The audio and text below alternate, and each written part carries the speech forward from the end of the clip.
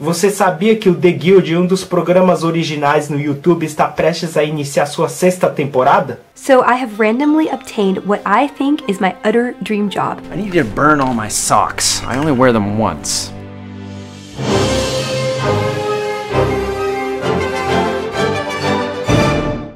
É um dos muitos programas matadores do canal Felícia Day, chamado Geek and Sunday. Confira o programa clicando aqui e se inscreva-se no canal com o melhor conteúdo geek e gamer no YouTube. Rapaz, mas tu tá feio, hein? Vixe Maria.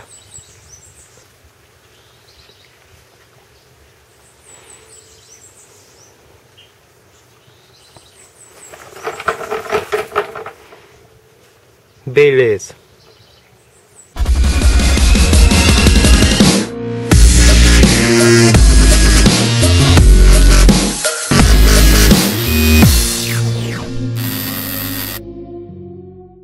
E aí? Eu tô falando alto porque o microfone tá com problema. E aí, como é que vocês estão? Na verdade, eu preciso arranjar, dar um jeito de comprar um, um gravador de áudio, tipo aquele HN1, HN2, aqueles gravadores lá, para melhorar o áudio, tá ligado? Que eu andei percebendo que o áudio tá ruim e a tendência é só melhorar, né, mano? Tentar melhorar aos poucos os vídeos que eu faço. Hoje eu tô indo lá comprar um tripé pra câmera, porque tá foda. Usar a câmera sem ter um apoio. Antigamente eu usava livro, pilha de livro pra deixar a câmera colocada, posicionada na minha frente. E era foda, né? Porque você não tem como regular a altura e tudo mais. Aí eu comprei um tripé, mas era daqueles pequenininhos. E aí, de certa forma, ajudou pra caramba, tá ligado? Mas tem lugar que eu quero deixar a câmera, mas não tem apoio pra, pra aquele tripé menor, né, mano? Tem uma mesa às vezes, então eu preciso daqueles um pouco maior. Eu tô indo lá ver se eu arranjo um por um bom preço aí, né? Porque não dá pra comprar um profissional, que a grana aqui também tem que dar uma maneirada, né? Mas é isso aí mesmo tô de volta. Esse tempo tá maluco, novamente tá um calor, tá um forno. Tá com cara que vai chover hoje, mas eu acho que não vai. Pra mim isso não é normal. Tá estranho o tempo. Queria complementar só uma coisa lá sobre relação àquela briga do Cauê e do Latino. Já tá um assunto meio escasso já, né, mano? Tá todo mundo falando dessa porra aí. O Cauê esses dias depois que o vídeo dele novamente foi posto ao ar no canal dele, ele aceitou o convite do Pânico para encontrar com o Latino. Certa forma, ele se arrependeu de ter ido lá encontrar ele, né? porque a televisão ficou do lado do Latino, tá ligado? Fizeram novamente aquela edição parece que tá tipo defendendo o latino. E teve uma hora lá que eu achei um absurdo, né, mano? Pegaram simplesmente pessoas na rua, acho que duas pessoas. Duas pessoas que, tipo, nem sequer conhecem o Cauê Moura, acho que não tá nem sabendo o que tá acontecendo, o porquê desse rolo, e colocaram pessoas que não têm nenhuma informação do, do que está acontecendo e aí perguntaram para eles quem está certo, quem está errado. Lógico, colocaram justamente aquelas pessoas que iam achar que o latino não está errado, mano. Fizeram uma edição para defender, né? E como é televisão, as pessoas desinformadas do assunto vão achar o quê? Que esse Cauê novamente tá fazendo um escrotice. Mas é foda essa TV, né? E aí eu queria chegar num outro assunto também que eu queria falar. E, novamente eu sempre falo que a televisão gosta de manipular a informação. Na verdade o que eu tô vendo é que a televisão tá querendo é mesmo, principalmente, é derrubar a internet, né? Como eu já tinha falado anteriormente. Outro caso também foi do, do Kleber, sabe? O tiozão da Hornet. É, o SBT pegou uma reportagem com ele, entrevistando ele e tal. já fazendo uma entrevista bem pra, pra dizer que ele tá errado também. Meio que acusando, né? Colocaram imagens da, das filmagens dele. Falou assim, o cara faz filmagem na rua, desrespeitando o trânsito, que não sei o que. E as coisas que ele fala, ninguém pôs na televisão, né? Vai ver na cena. SBT meteu o pau no, no Kleber também. Essa TV, vou te falar. Por isso que eu nunca mais assisto televisão na minha vida, velho. Eu nem sei o que tá acontecendo, velho. Primeiro porque eu não necessito da televisão para ter informação, tá ligado? E muito menos desde sempre, né? Eu acredito acho que muita gente tem um, uma tendência de dizer que você tem que assistir televisão, senão você vai ficar desinformado, senão você não sabe o que está acontecendo no mundo. Essas pessoas que falam isso, na verdade, de certa forma, elas têm preguiça de ler, né? Porque no jornal, mais que seja uma manipulação também, se você já não percebeu, cada tipo de jornal eles defendem alguma coisa. Cada um tem um ponto de vista. Se é que você me entende. Mas jornais são assim. Existem vários tipos de jornais da região, jornais de todo tipo. Mas cada um deles passa a informação de uma forma pessoal, tá ligado? De uma forma de ponto de vista não igual. Cada um tem um tipo de ponto de vista diferente entre eles. Se é que você já não percebeu isso. Ai, caralho, quase bati o carro agora, velho.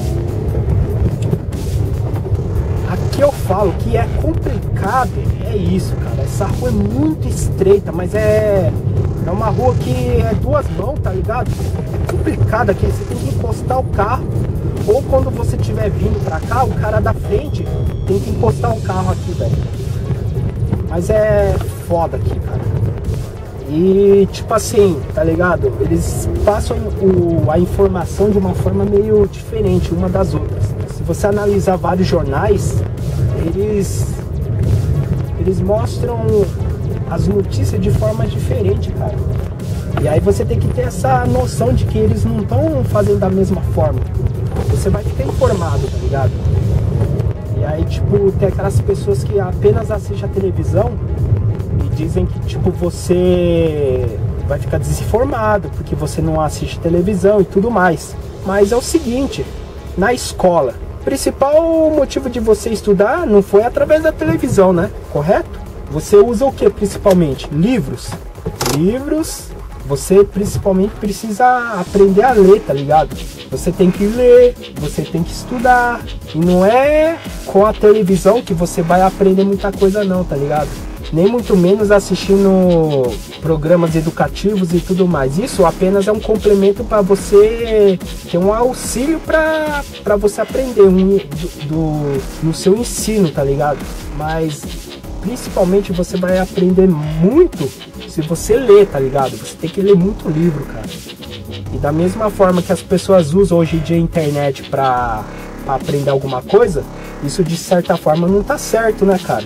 Porque muitos não vão entender muita coisa, porque apenas vão pegar o conteúdo que tá lá na internet e vão jogar no trabalho ou vão aplicar aquilo sem ler e não vão entender nada, por mais que aquilo esteja correto, tá ligado? Pro trabalho, de escola, ou trabalho simplesmente, né, mano? E tipo, você principalmente, em primeiro lugar, você tem que ler, tá ligado? Ler, se informar, devorar livros, porque é o fundamental, o básico, tá ligado? É o principal, tá ligado? Porque aí você vai conseguir melhorar o seu desempenho. E aí, falando sobre o tiozão, o Kleber, o SBT fudeu com eles também, tá ligado? Porque sabe que os ignorantes que assistem a televisão, que não, não entendem nada, tudo que colocarem lá na mídia, eles vão acreditar.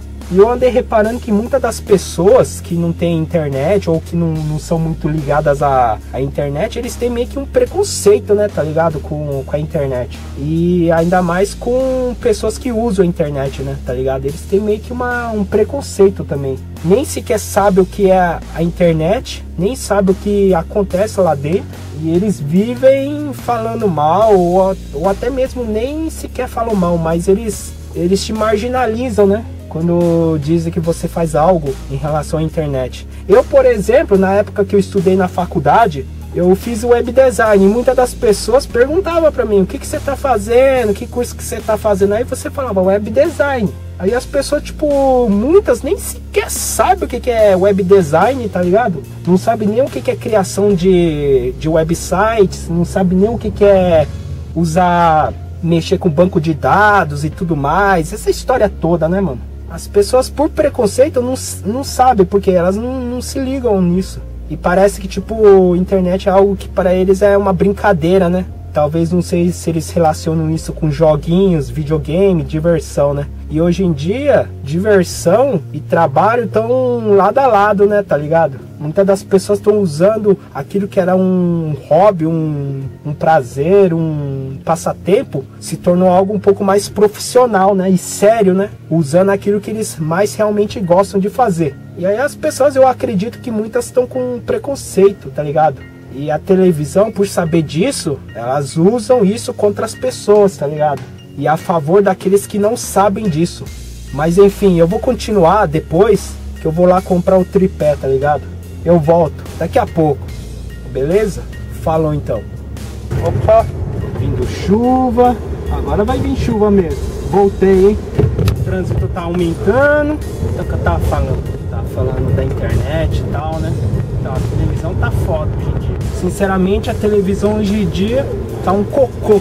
Já era, né, antigamente, mas agora, agora tá um chiqueiro total, velho. É, que tá perdendo, né, mano? Tá perdendo números.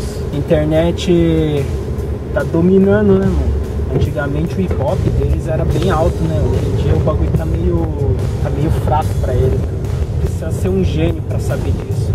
E aí, foda-se, né? Tá ligado? Se o cara o Kleber lá, o tiozão tá, tá certo ou não, foda-se. Eles vão querer derrubar, mano. Eles vão querer atacar, né, mano? Eu nem sei por que, eu vim nessa rua. Só dando rolê mesmo. Tô descansando, né, mano? Foda-se. Já comprei o tripé. Depois eu mostro ele pra vocês. É isso aí. Eu tava pensando futuramente também comprar uma GoPro for fazer alguma coisa em algum lugar, filmar com ela também, tá ligado? Lógico, eu gosto pra caralho dessa câmera que eu tô usando agora, tá ligado? Mas como eu tenho, sempre tive fascinação por aquela câmera, e depois eles fizeram essa versão nova aí, não nova, né, mas a, a atual, a Hero 2, naquela câmera, eu vou te falar, mas filmagem dela, sei lá, eu acho mó louco, eu gosto, tá ligado? Mas é isso aí então. Até a próxima. Depois eu volto. Não posso falar muito aqui que aqui é o trânsito é meio meio osso. Então é isso. Depois eu volto aí. Falou.